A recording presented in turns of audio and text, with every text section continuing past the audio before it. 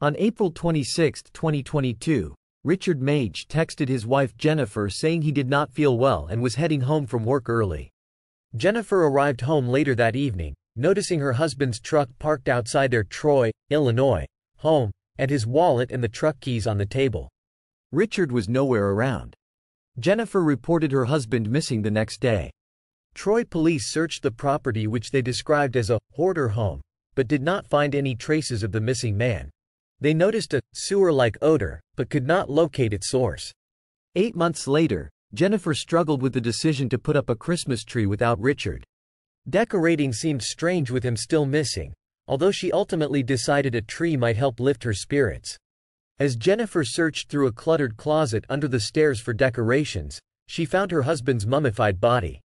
She called the police. The storage area, where Richard's body was found, had originally been accessible by a hallway door, Jennifer told People magazine.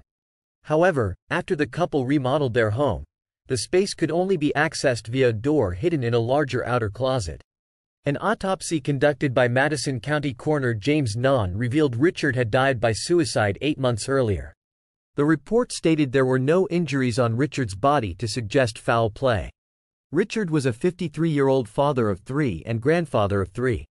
Sadly, he also struggled with mental illness, although Jennifer says he always got help when he felt down and never discussed suicide with her.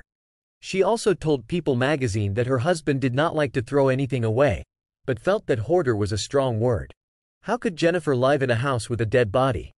Many question how Jennifer could live in the same house with a dead body for so long without realizing it considering the horrid smell emitted by decaying flesh and how police noticed the sewer-like odor during their first search of the house. Officers searching the home noted how the smell only lingered in a portion of the home and later dismissed the strange smell as odor from the trash strewn about the house.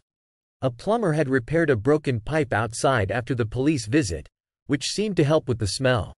Kelly Rogers, the county's chief deputy coroner, explained that Jennifer might not have noticed the odor if Richard's body had advanced beyond decomposition to a mummified state, which would eliminate any odor. Richard's family was not so understanding, questioning how police could miss the body after three searches. Police responded by stating they had undertaken comprehensive searches of the home and surrounding area.